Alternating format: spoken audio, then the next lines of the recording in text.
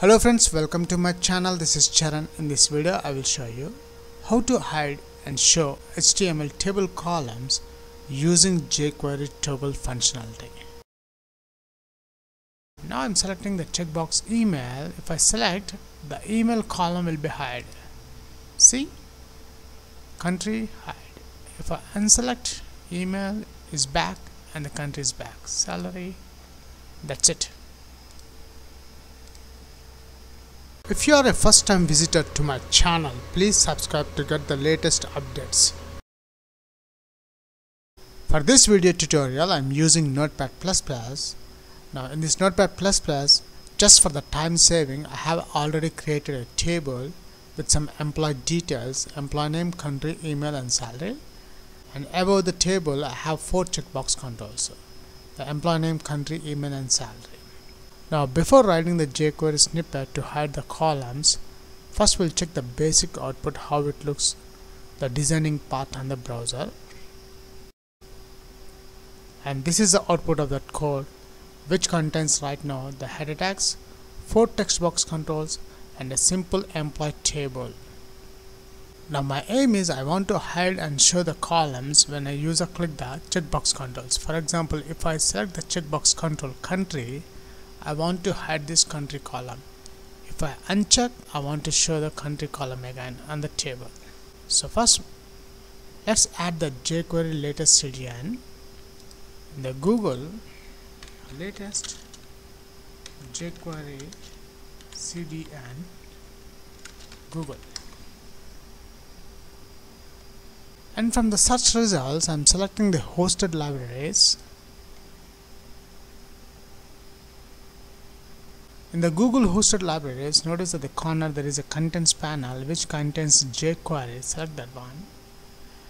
You can find different versions of jQuery snippets. I'm selecting the latest version 3.3.1. Just copy this CDN link. Below the checkbox control I'm adding. After that, I'm adding script tag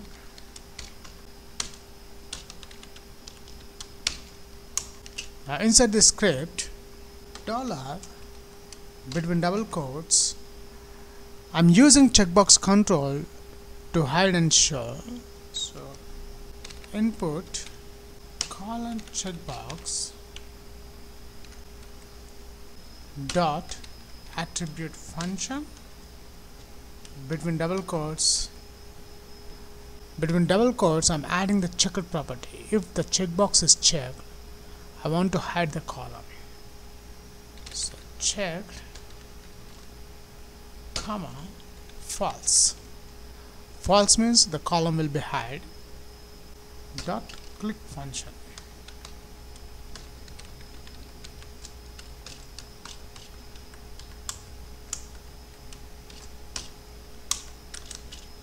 Let's create a variable. Show hide column is equals to between double quotes dot plus dollar.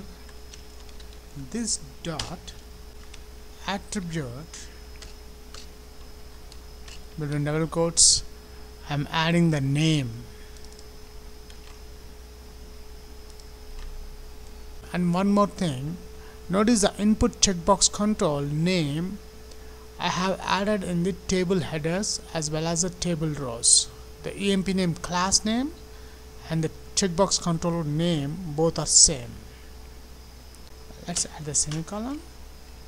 Dollar sh column dot toggle method.